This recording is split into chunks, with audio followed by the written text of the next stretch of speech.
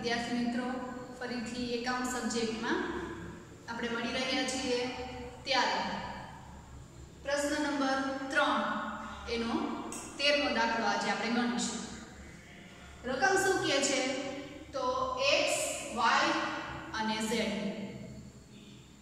ત્રણેય બે જેમ ત્રણ જેમ એકના પ્રમાણમાં નફો નુકસાન વેચતા ભાગીદારો છે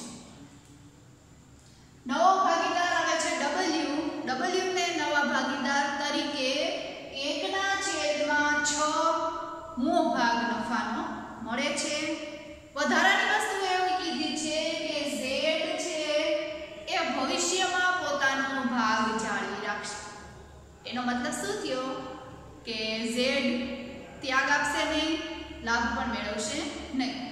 જે એનું જૂનું પ્રમાણ હતું, એ જ નવું પ્રમાણ બની રહેશે.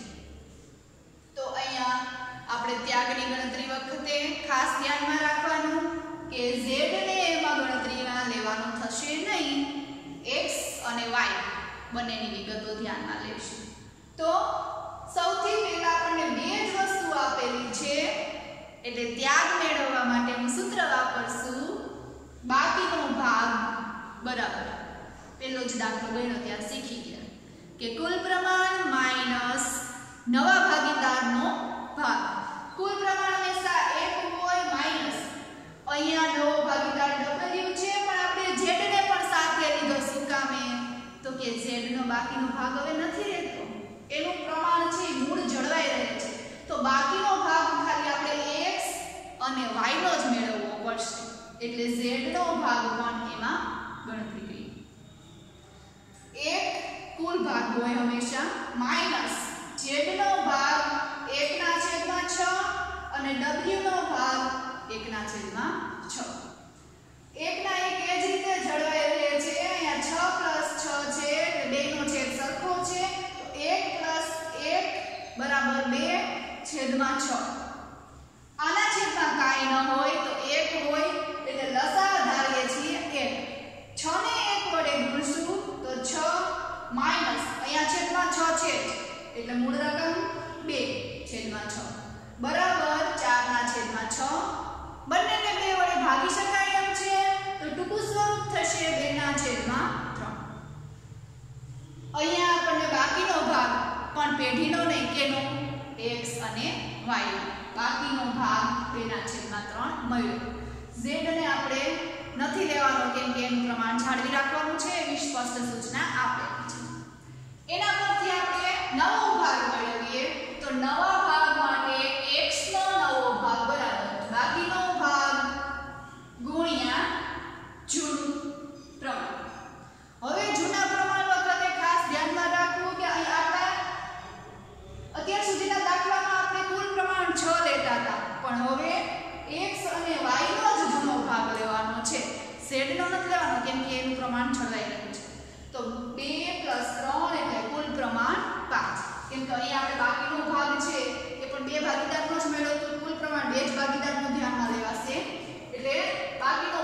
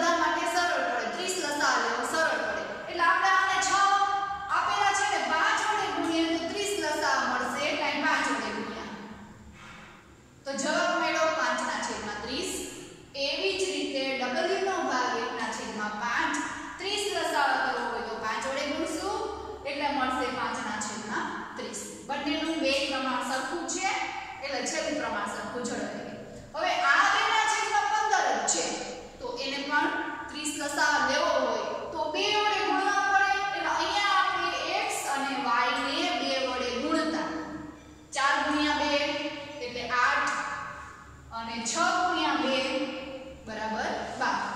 પાંચ આ પાંચ. તો નવ નફા નુકસાનનું પ્રમાણ મળે છે આઠ જેમ બાર જેમ પાંચ જેમ પાંચ.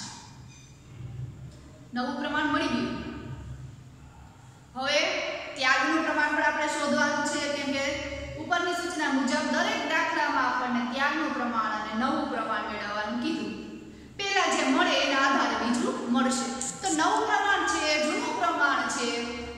આધારે આપણે ત્યાગ મેળવશું. તો ત્યાગ માટેનું જૂનું સૂત્ર આપણી પાસે છે. જૂનો ભાગ માઇનસ નવો ભાગ. x નો જૂનો ભાગ બેના છેદમાં છ. હવે જો આ ભાગ આખે આખો ભાગ લેવાનો, બરોબર? કેમ કે ત્યાગ છે એ જૂની પેઢી પ્રમાણે મળશે.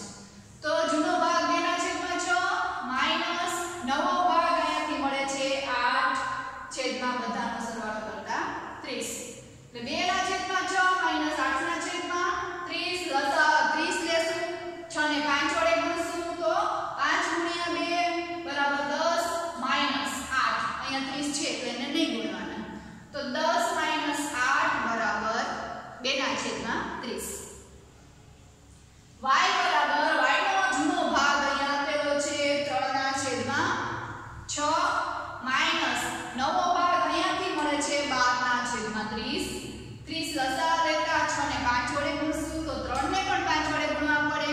5 ગુણ્યા 3 બરાબર 15 માઇનસ 12 અહીંયા નહીં ગુણવા પડે કે 30 છે 15 માઇનસ 12 બરાબર ત્રણના છેદમાં 30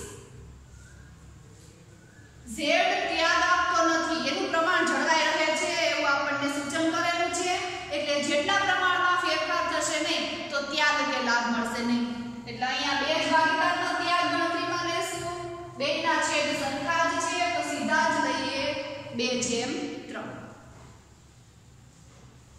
સરળ દાખલો હતો. આવી જ રીતે હોમવર્કમાં દાખલો ચૌદ અને પંદર. આ જ સિસ્ટમ મુજબના છે, એટલે તમે સરળતાથી કરી શકશો. તો એ હોમવર્કમાં કરશો. કંઈ પ્રશ્ન હોય તો રજૂ કરવો અને પૂરી કોશિશ કરશું કે તમને સંતોષકારક જવાબ મળી રહે અને સંતોષકારક રીતે તમે એજ્યુકેશન મેળવો.